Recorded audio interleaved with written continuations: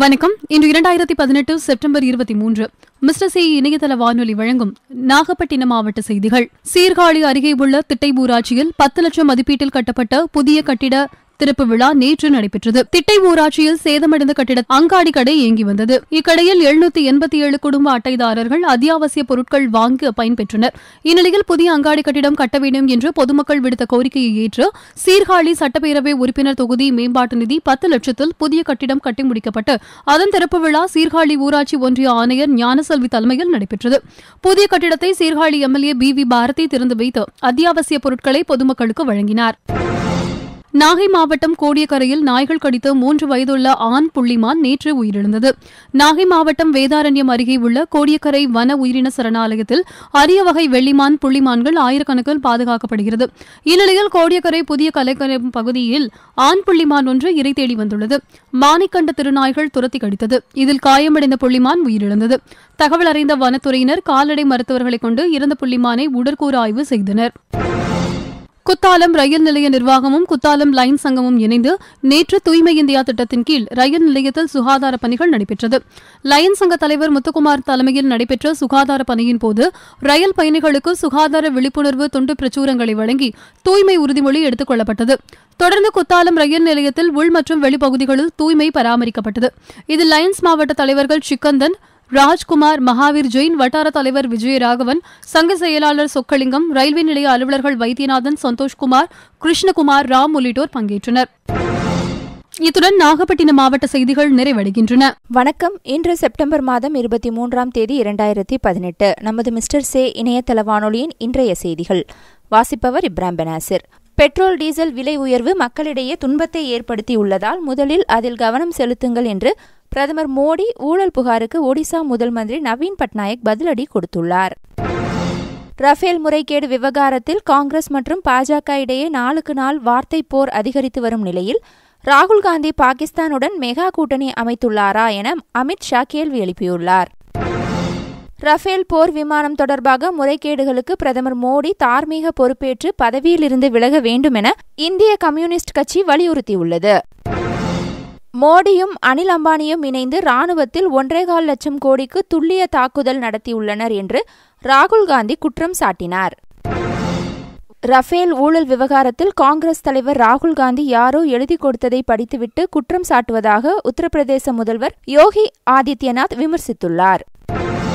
Rafale விவகாரம் குறித்து விவாதிக்க பாராளுமன்றத்தில் சிறப்பு அமர்வை கூட்ட பிரதமர் மோடி நடவடிக்கை எடுக்க வேண்டும் என டெல்லி முதல் மந்திரி அரவிந்த் கெஜ்ரிவால் தெரிவித்துள்ளார். பூட்டான் நாட்டின் ராஜமாதாவும் தற்போதைய மன்னரின் தாயாருமான டோர்ஜி வாங்மோ இன்று டெல்லியில் ஜனாதிபதி ராம்நாத் கோவிந்தை மரியாதை நிமித்தமாக சந்தித்தார். அமெரிக்காவில் நடைபெறவுள்ள எழுபத்தி மூன்றாவது ஐநா பொதுசபை கூட்டத்தில் பங்கேற்பதற்காக மத்திய வெளியுறவுத்துறை மந்திரி சுஷ்மா ஸ்வராஜ் நியூயார்க் நகர் வந்தடைந்தார்.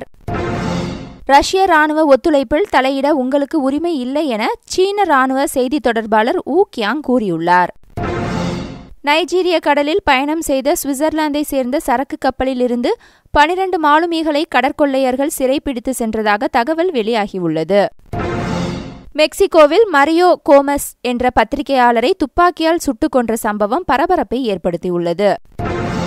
ஈரானில் ராணுவ அணிவகுப்பில் துப்பாக்கியால் சுட்டு பயங்கரவாதிகள் நடத்திய தாக்குதலில் வீரர்கள் உட்பட இருபத்தி நான்கு பேர் பலியாகினர். தாக்குதல் நடத்திய பயங்கரவாதிகளில் இரண்டு பேர் சுட்டுக் கொல்லப்பட்டனர். மதுரை மத்திய சிறையில் போலீசார் இன்று அதிரடி சோதனையின் போது சிறையில் இருந்து தடை செய்யப்பட்ட புகையிலை பொருட்கள் குட்கா பீடி சிகரெட் போன்றவை பறிமுதல் செய்யப்பட்டன. உத்தமபாளையம் அருகே பதினெட்டாம் கால்வாயில் ரேஷன் அரிசி மூட்டைகளை கும்பல் வீசி சென்ற சம்பவம் அதிர்ச்சியை ஏற்படுத்தியுள்ளது. தமிழக அரசில் ஊழல் குற்றம் சாட்டப்பட்ட அமைச்சர்கள் உடனே பதவி விலக வேண்டும் என ஐஜேகே கட்சித் தலைவர் பச்சமுத்து கூறியுள்ளார். கேஸ் சிலிண்டர் எரிவாயு விலை உயர்வு காரணமாக கடலூர் மாவட்டம் விருதாச்சலத்தில் நடைபெற்ற திருமண விழாவில் மணமக்கள் செல்வகுமார் கஸ்தூரி தம்பதியினருக்கு அவர்களது நண்பர்கள் கேஸ் சிலிண்டர் அன்பளிப்பாக வழங்கினர். எம்எல்ஏ கருணாஸ் மீது போடப்பட்ட கொலை முயற்சி வழக்கு ரத்து செய்யப்பட்டுள்ளது. அக்டோபர் ஐந்து வரை நீதிமன்ற காவலில் வைக்க உத்தரவிடப்பட்டுள்ளது. ஸ்டெர்லைட் ஆலையில் ஆய்வுப் பணிகளை துவக்கியது பசுமை தீர்ப்பாய ஆய்வுக்குழு.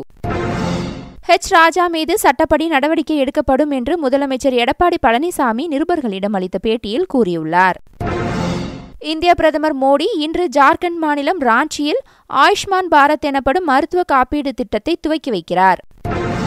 சென்னையில் இன்று பெட்ரோல் விலை பதினெட்டு காசுகள் உயர்ந்து ஒரு லிட்டர் ரூபாய் எண்பத்தி ஐந்து புள்ளி எண்பத்தி ஏழாக விற்பனை செய்யப்படுகிறது.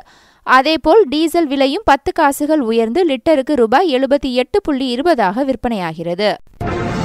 நாகர்கோவில் நகராட்சி மாநகராட்சியாக தரம் உயர்த்தப்படும் என்று முதலமைச்சர் எடப்பாடி பழனிசாமி அறிவித்துள்ளார். நிலக்கரி தட்டுப்பாடு எதிரொலியால் மின்சார பற்றாக்குறை ஏற்பட்டு வந்த நிலையில் தற்போது தமிழகத்தில் காற்றாலைகள் மின்சார உற்பத்தியில் ஈடுபட்டு ஓரளவு கை கொடுத்து வருகிறது. காற்றாலைகள் மூலம் தினமும் நான்காயிரம் மெகாவாட் வரை மின்சார உற்பத்தி செய்யப்படுகிறது. வெப்பசலனத்தால் தமிழகத்தில் அடுத்த மூன்று நாட்களுக்கு மழை இருக்கும் என்று வானிலை ஆய்வு மையம் தெரிவித்துள்ளது. இத்துடன் மிஸ்டர்